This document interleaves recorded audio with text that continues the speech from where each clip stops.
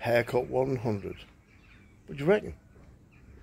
Don't like you can even see the uh, the blue. Look, I'm sorry about before, but um, things do sort of get to you. But I've just met up with a few people here, and I've made things pretty positive. I'm still going to stay away from um, uh, from the channel until I have something more productive. But um, just something here. if you have a look, this is absolutely amazing.